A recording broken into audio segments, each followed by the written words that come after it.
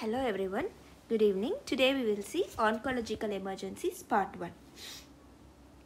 In oncological emergency, it can be related to tumor itself or it can be due to adverse treatment effect that can occur early in the therapy that result in oncological emergencies.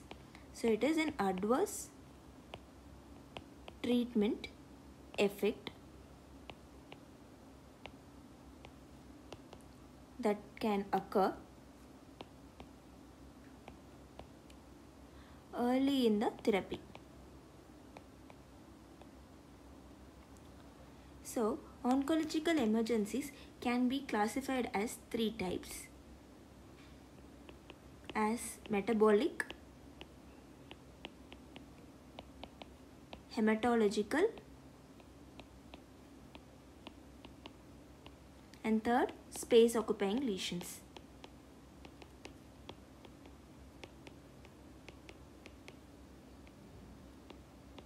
So, among metabolic, we have hyperuricemia,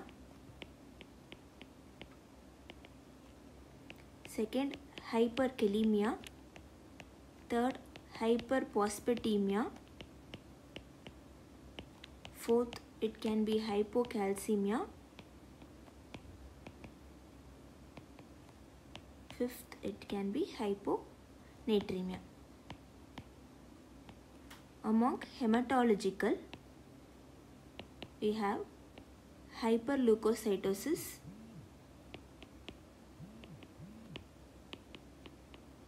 second, it can be anemia, third, thrombocytopenia, fourth, DIVC, and fifth, it can be neutropenia. Among space occupying lesions, we have SVC syndrome, second, spinal cord compression, third, pericardial tamponade,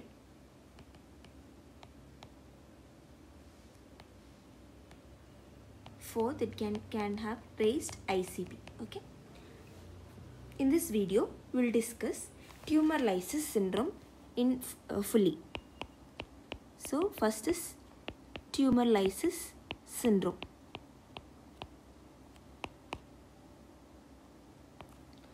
So, this tumor lysis syndrome is a biochemical syndrome that can occur. It is a biochemical syndrome that can occur spontaneously due to the tumor itself.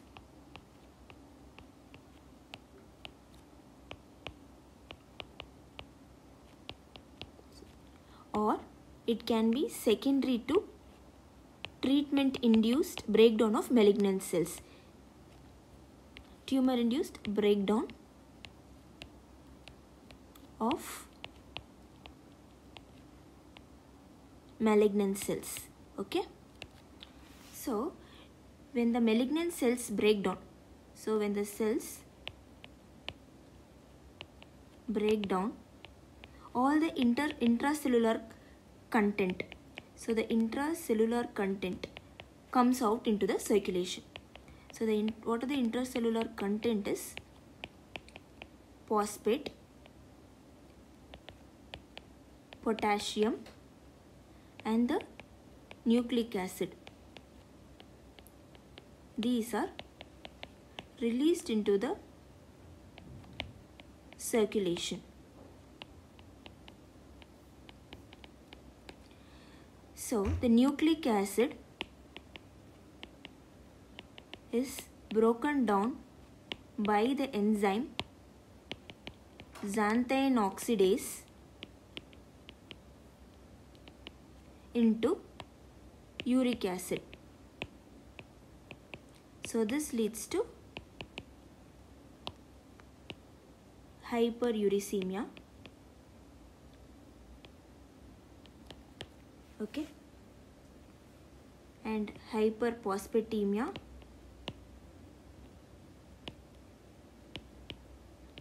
and hyperkalemia.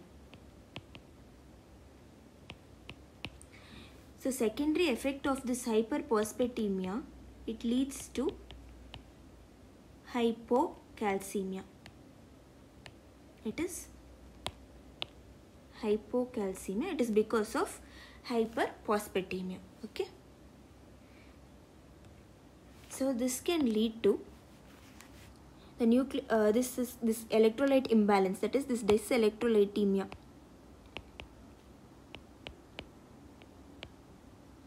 with inflammatory markers that is cytokines are also being increased. This can lead to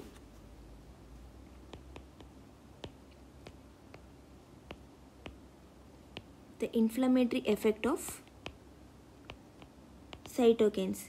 These predispose to acute kidney injury. So it predisposes to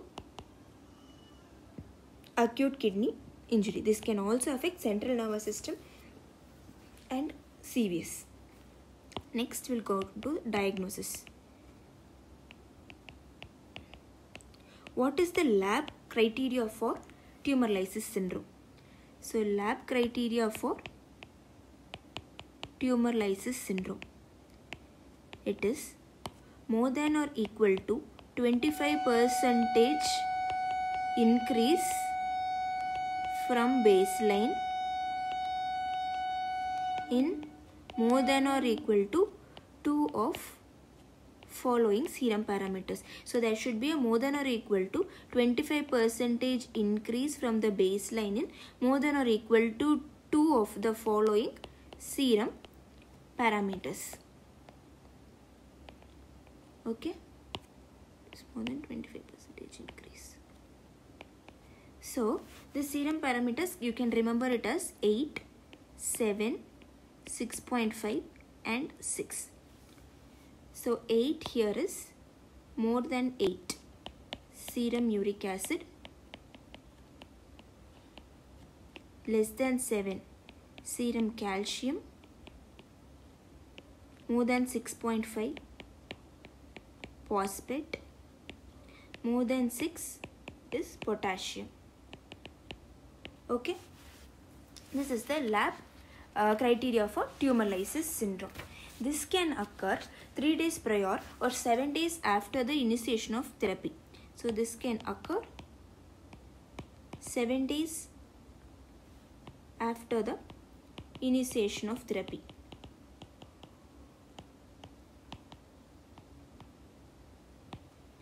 this dyselectrolytemia this can lead to seizures so dyselectrolytemia can lead to seizures arrhythmia and acute kidney injury leading on to oliguria. So this is termed as clinical tumor lysis syndrome. The tumor lysis syndrome, if it is diagnosed in the lab stage, it can be managed and it can prevent the clean, this clinical consequence can be prevented if it is identified earlier in this lab stage. Okay. Next, we'll go on to prevention.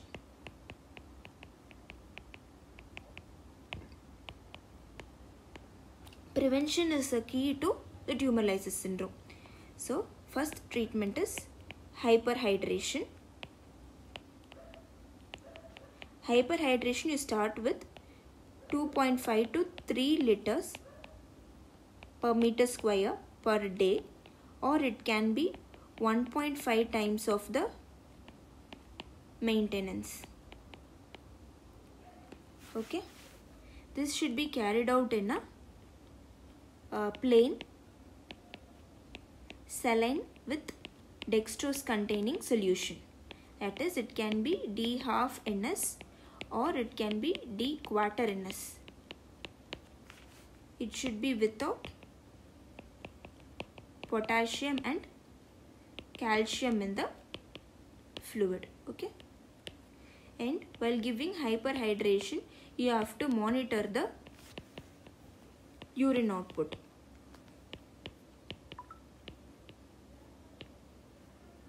so the urine output here it should be 4 to 6 ml per kg per hour in children less than or equal to 10 kgs. You know, it should be you should maintain at 4 to 6 6 ml per kg per hour if the child is less than 10 kg or it should be the target should be 80 to 100 ml per meter square per hour this is the urine output you have to monitor. The second treatment is for sorry second method of prevention is you have to use xanthine oxidase inhibitor.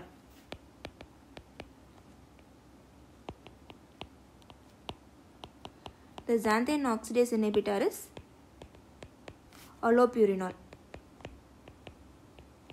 This allopurinol should be used at the dose of 10 mg per kg per day in 3 divided doses.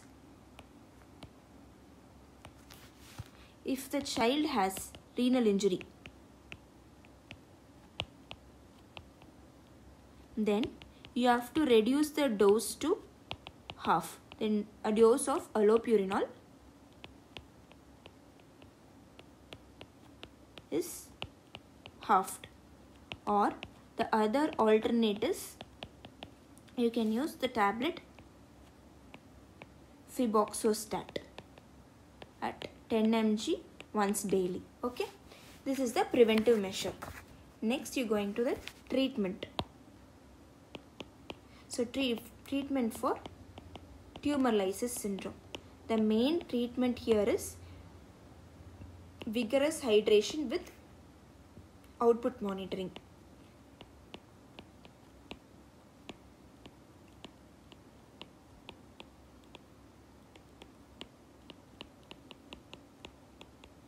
second for hyperuricemia. Treatment uh, because you have to treat individually according to your lab value.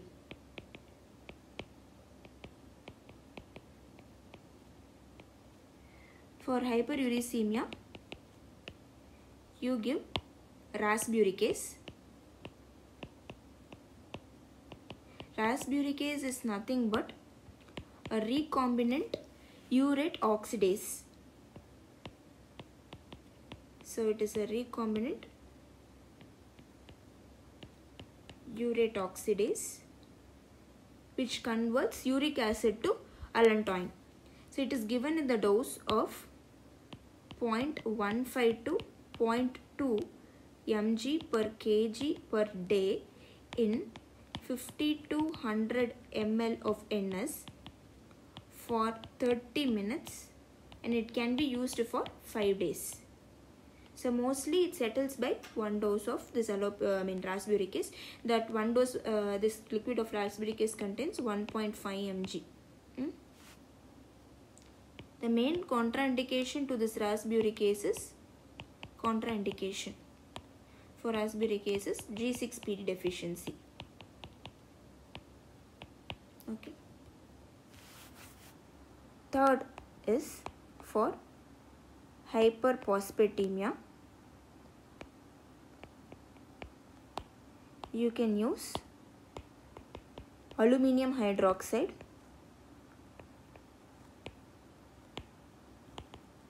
at the dose of 50 to 150 mg per kg per day every sixth hourly.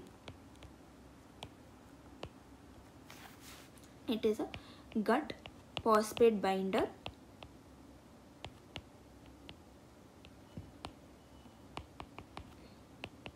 or you can use Sevelamer at the dose of 100 mg per kg per day. It is a uh, in a three divided doses. It is an alternate gut phosphate binder. Okay. Fourth, for hyperkalemia. First, this one everybody knows. You start on with calcium gluconate under uh, ECG monitoring. It is for this uh, calcium gluconate you give for cardiac stabilization.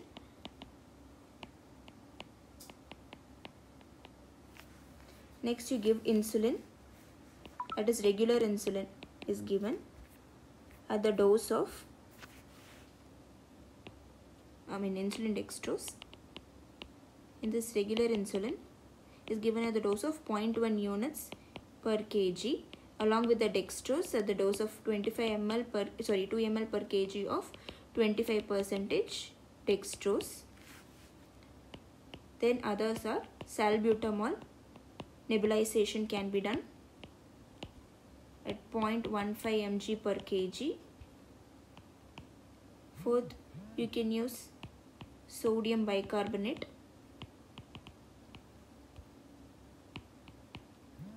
at the dose of 1 to 2 milliequivalents per kg. Next is Kayexalate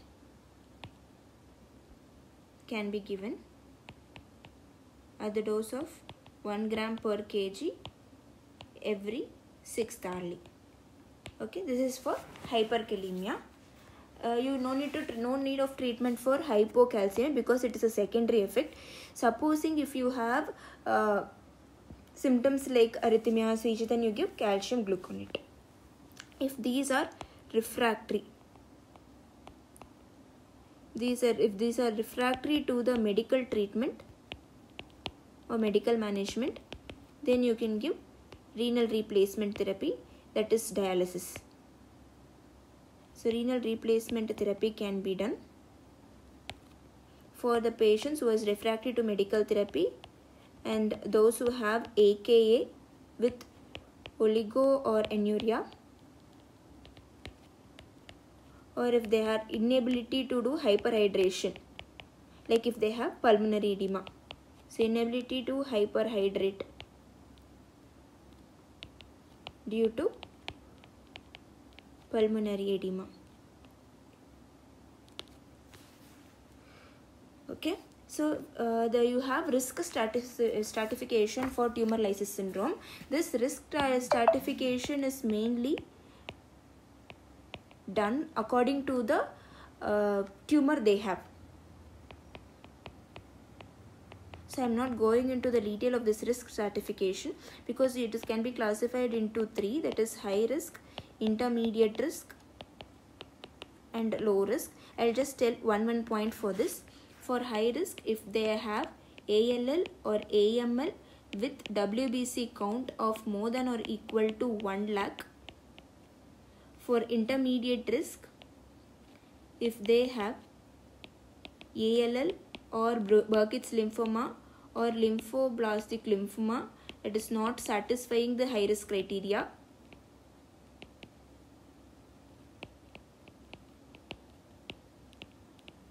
or if they have AML with WBC count between 25,000 to 1 lakh. In low risk patient, it is AML with WBC count less than 2 lakh, sorry, less than 25,000. Okay. And other non-Hodgkin's lymphoma will come under low risk category. So how do you monitor in these patients is for high risk patient, monitoring. For high risk patients, you have to take 8th to 12th hourly blood samples. For intermediate risk, it is 12 to 24 hourly. And for low risk patients, at least you have to take the baseline investigations should be done. Okay. This is about the tumor lysis syndrome. Tomorrow we will talk about the uh, other uh, oncological emergencies like hyperleukocytosis and uh, febrile neutropenia and SVC syndrome. Okay. Tomorrow we'll cover these topics in part 2 of oncological emergencies.